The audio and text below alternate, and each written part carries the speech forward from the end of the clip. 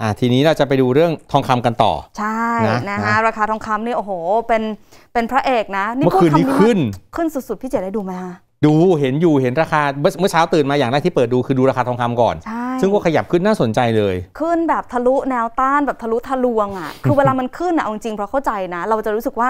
เอ๊ะเราก็จะลุ้นว่ามันจะลงหรือเปล่าเออเออแต่เออแต่แต่ดูจากสัญญาณแล้วตอนนี้เนี่ยชักชักไม่ค่อยแน่ใจนะคะแล้วก็ครับหวังหวังว่าเอ๊ะเผลอๆจะแอบไปพันเก้าร้อยเหรียญเนี่ยได้หรือเปล่านะคะใครที่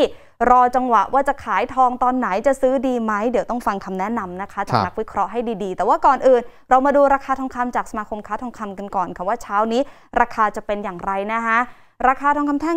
96.5 รับซื้อ ที่ 28,700 นะคะ ขายออก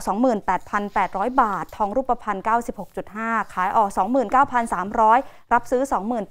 28,182 บาท 44 สตางค์วันนี้พูดคุยกันค่ะ คุณผู้ชมกับคุณนัทพงศ์หิรัญยสิริ ประธานฝ่ายบริหารกลุ่มบริษัทในเครือ MTS Go แม่ทองสุข อยู่ในสายแล้วคุณนัทพงศ์สวัสดีค่ะ สวัสดีครับ สัปดาห์นี้นั่งทุนทองโอ้โห แบบคาดการณ์ไม่ถึงเลยนะ ว่าทองจะขึ้นแรงแล้วก็เร็วขนาดนี้ประเมินสถานการณ์ยังไงคะวันศุกร์ส่งท้ายสัปดาห์แล้ว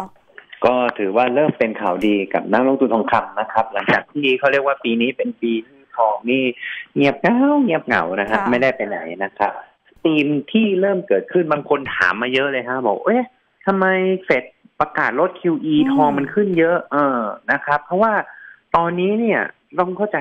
พื้นฐานก่อนว่า QE เนี่ยพออัดเงินมาเยอะๆเนี่ยเงินมาอยู่ในระบบเยอะถูกไหมครับค่ะแล้วสิ่งที่เราพูดจริงๆในรายการเนี่ยเราพูดมาตั้งแต่ต้นปีเลยว่าต้องระวังอะไรฮะ เงินเฟ้ออืมซึ่งตัวเลขเงินเฟ้อที่ออกมาในสองวันก่อนเนี่ย เป็นตัวเลขเงินเฟ้ออเมริกาที่สูงที่สุดในรอบสามสิบปีค่ะหกเปอร์เซ็นหมายความว่าอะไรครับ คุณฝากเงินคุณเก็บเงินสดหรือคุณฝากเงินแบงก์ไว้หนึ่งร้อยบาทเนี่ย ปีนี้ขาดทุนนะฮะอืมหกบาท นะครับหมายความว่าปีนี้ใครเก็บเงินสดเนี่ยมูลค่าเงินหายไปลดลงแปลว่าอะไรมูลค่าเงินหายไป เช่นอ่าแต่ก่อนเราซื้อก๋วยเตี๋ยวชามละสามสิบาท เดี๋ยวนี้มันก็จะมูลค่าหายไปหกเปอร์เซ็นก็จะต้องซื้อแพงขึ้นเป็นห้าสิบหกสิบเราจะเริ่มเห็นราคาน้ำมันบ้านเราที่เริ่มปรับตัวสูงขึ้น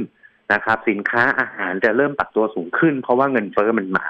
หมายความว่าเงินในกระเป๋าเราตอนเนี้ยมันมูลค่าน้อยลงฉะนั้นค่ะแน่นอนครับว่าพอตัวเงินเฟ้อมันสูงขนาดนี้เนี่ย มันก็เลยทำให้ตัวเอ่อ ตัวสินทรัพย์ที่สู้เงินเฟ้อได้เนี่ยก็คือทองคำค่ะนะครับ เพราะว่าทองคำเนี่ยจะ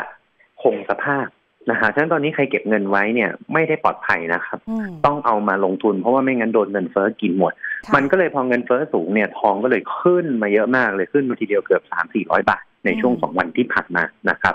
ราคาทองคำตอนนี้เนี่ยมีแนวรับอยู่ที่ประมาณหนึ่งพันแปดร้อยสามสิบค่ะแนวต้านอยู่ที่ประมาณ1,875 คิดเป็นทองไทยตอนนี้เนี่ยนะครับ ก็โอ้โหเร็วมากเลยนะฮะตอนนั้นอืมอาทิตย์ที่แล้วเราคุยยัง28,000ต้นต้นๆตอนนี้แป๊บแป๊บๆจะ29,000แล้วค่ะนะครับฮะ29,000แล้ว แต่วันนี้ก็ลงมานิดหน่อยนะครับค่ะเนื่องจากบาทแข็งแล้วก็ทองก็เริ่มมีการปรับตัวลดลง ในภาพรวมเนี่ยเรายังคิดว่าราคาทองยิ่งขึ้นยิ่งเป็นตีมแบบนี้เนี่ยราคาทองจะมีโอกาสขึ้นได้ต่อ เพราะว่าอาจจะมีโอกาสไปเห็นแถวพันเก้าร้อยจนถึงประมาณหนึ่งพันเก้าร้อยห้าสิบเหรียญหรือพูดง่ายๆคือ อาจจะเห็นสองหมื่นเก้าห้าร้อยอาจจะเห็นแถวสามหมื่นด้วยโอ้ถ้าเกิดยังขึ้นต่ออ่าอ่า เพราะว่าต้องระวังนะฮะว่าตอนนี้เนี่ยสิ่งที่ต้องดูก็คือว่าเงินเฟ้อตอนนี้มันสูงมากอ่าหมายความว่าอีกหน่อยสินค้าแพงแล้วสินทรัพย์ที่ตอนนี้ช่วยปกป้องเงินเฟ้อก็คือตัวทองคำนะครับหมายความว่าบางคนเนี่ยชอบออมเก็บไว้ในทองคำบางส่วน เพื่อที่จะป้องกันเงินเฟ้อเพราะทองจริงๆเนี่ยคือมันมูลค่าไม่ลง แต่มูลค่าเงินเราเนี่ยลดลงค่ะนะครับซึ่ง พอฟังจากคุณนัทพงศ์แล้วอะรู้สึกว่าถ้ามีทองอยู่ก็ไม่ไม่ต้องรีบขาย แต่ถ้าคนยังไม่มีล่ะคะ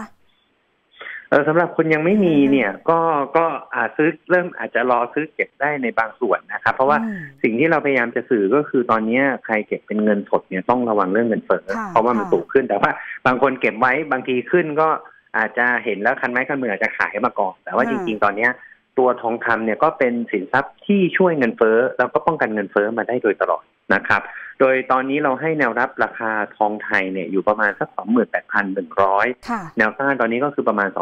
29,150 เรายังคิดว่าราคาทองเนี่ยน่าจะมีโอกาสไปถึงแถวสัก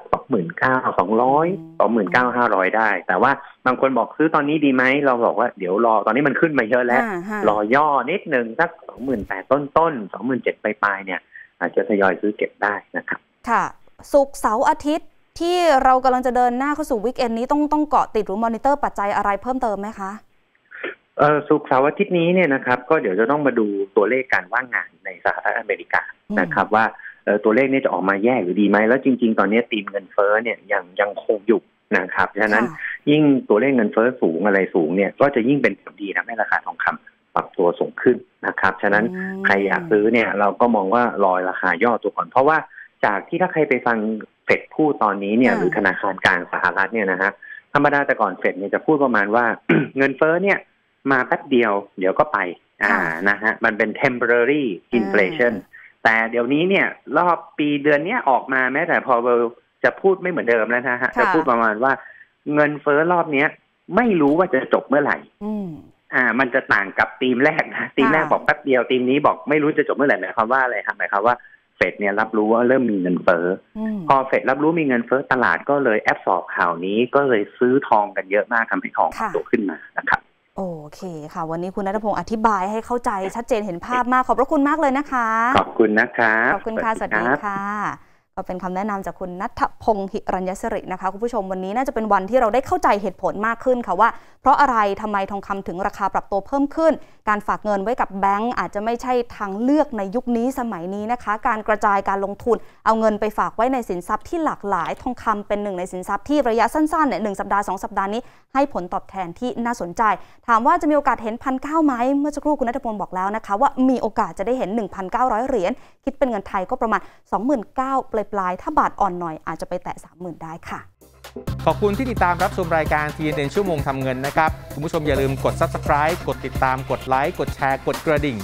ทุกๆ ช่องทางออนไลน์ของ TNN ช่อง 16 ด้วยนะครับ เพื่อจะไม่พลาดทุกรายการสด และคลิปวิดีโอต่างๆ มากมายที่น่าสนใจนะครับ